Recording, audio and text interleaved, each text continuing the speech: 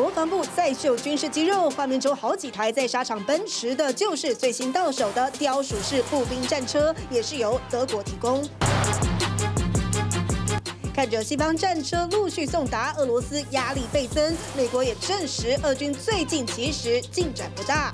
These forces are very undertrained. They're essentially doing frontal assaults into machine gun positions, et cetera, and they're getting slaughtered. The Russian troops are.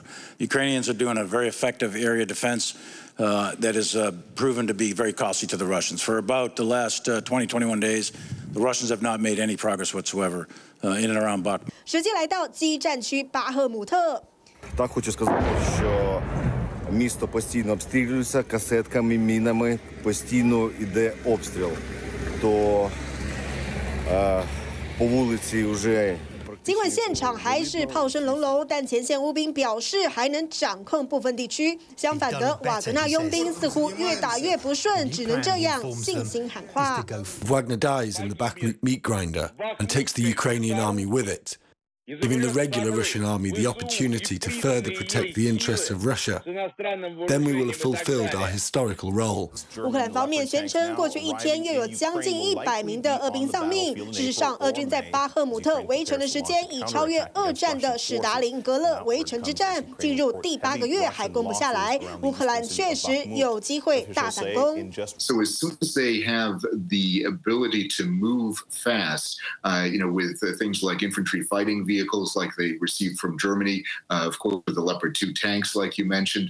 Uh, those things are going to be really important for mobility, and mobility is going to be the key for the Ukrainians. 普京发动入侵战争，连俄国十三岁女童都看不下去，用母女挡飞弹的画作表达反战。不料俄罗斯当局却气到把女童送进孤儿院，还抓走女童的父亲，激进做法也引发瓦格纳关切。We fight a war against evil for the sake of our children's future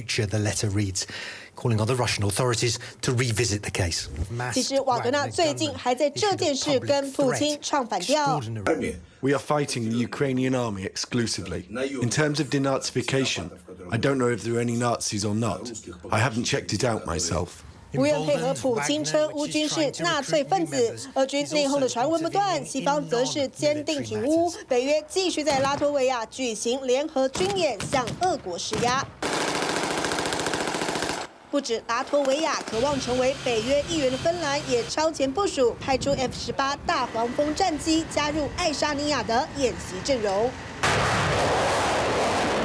It is important at the same time to underline that our NATO membership will only be complete when Sweden also joins the alliance. 美国总统拜登举行民主峰会，讨论焦点还是俄乌战争。不过受邀视讯演说的泽伦斯基还是忍不住抱怨西方军援速度太慢。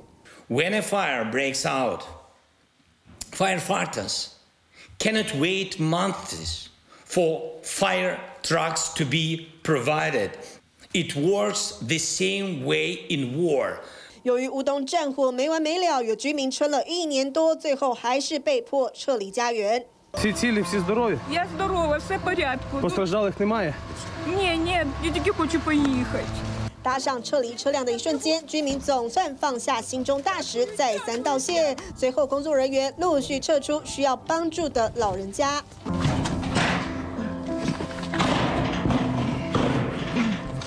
Вирушаємо до Курахівської міської лікарні.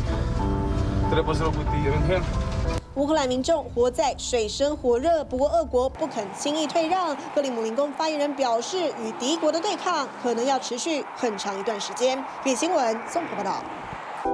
想看最完整的新闻内容，记得下载 TVBS 新闻网 APP。